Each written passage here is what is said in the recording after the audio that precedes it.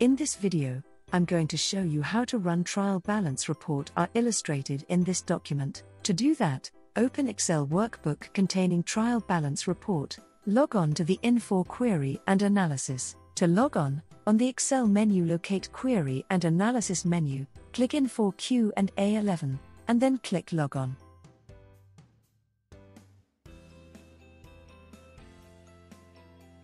Type your user ID and password into the logon dialog box. Then click Login.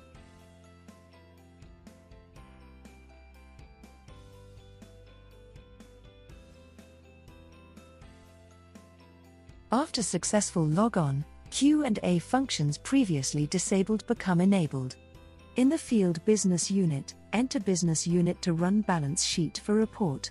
You may double-click cell C8 and select Business Unit from list. In the field Ledger, enter the ledger code to extract data. In the field Account code from, enter the first account code in the range to extract data. You may double-click cell C10 and select account code from list.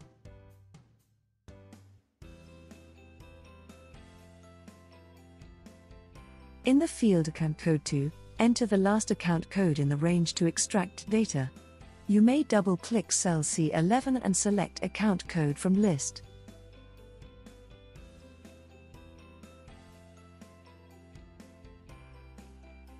In the field period from, enter the first period from in the range to extract data. In the field period to, enter the last period from in the range to extract data. In the field account type, enter the account type to extract data. You may double click cell C14 and select account type from list.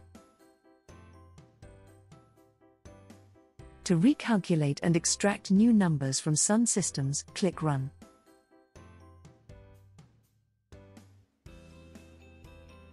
When report running is complete, you will notice report area is selected with new balances based on filter section values displayed. That's all. The lesson is finished.